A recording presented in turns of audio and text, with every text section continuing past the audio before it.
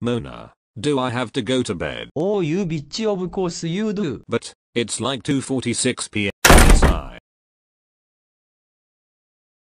Where the fuck am I?